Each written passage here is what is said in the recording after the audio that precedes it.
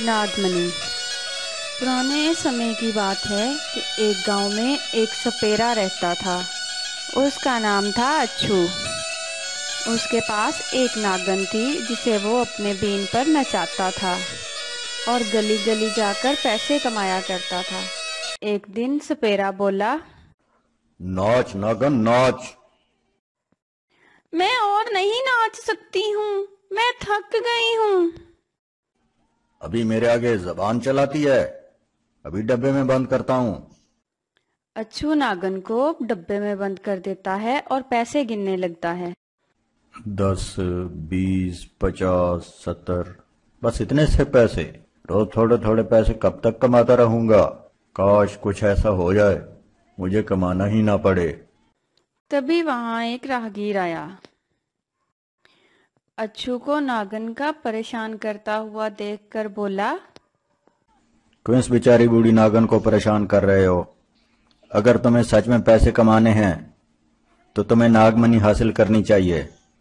गाँव के पीछे जो पहाड़ी है, इसके ऊपर एक जादुई गुफा है, जो पत्थर से बंद है।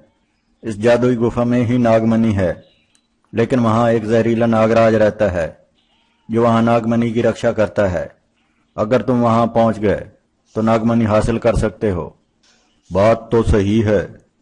अगर नागमणि मिल जाए तो रोज रोज खेल दिखाने के झंझट से मैं आज़ाद हो जाऊँगा। ऐसा कौन सा सांप है जिसे मैं नहीं पकड़ सकता? अच्छू अपनी नागन को आज़ाद कर देता है। जा अब मुझे तेरी कोई ज़रूरत नहीं है। अब तो मैं नागमणि हासिल करूँगा।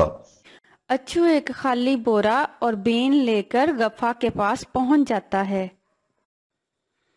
अच्छू शाम तक नागराज के बाहर निकलने का इंतज़ार करता रहता है।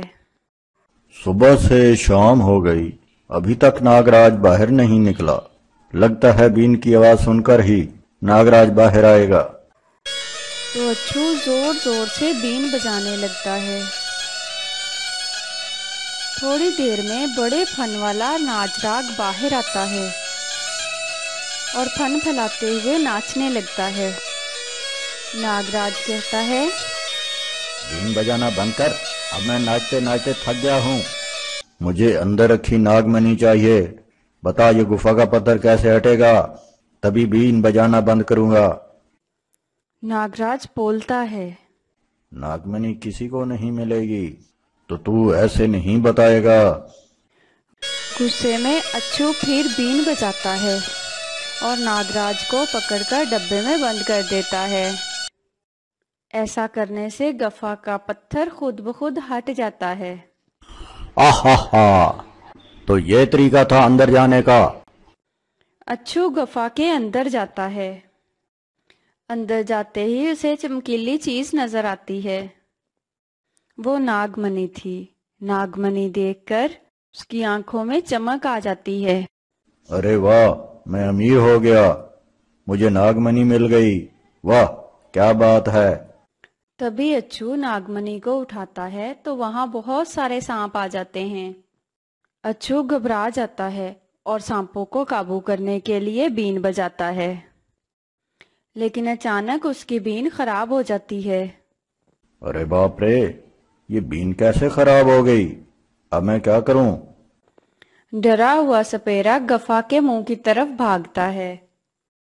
लेकिन गफा का मुँह अचानक बंद हो जाता है। और लालची सपेरा इस गफा में बंद हो जाता है। तो दोस्तों, हमें इस कहानी से ये शक्ता मिलती है कि लालच हमेशा मुसीबत में डाल देता है।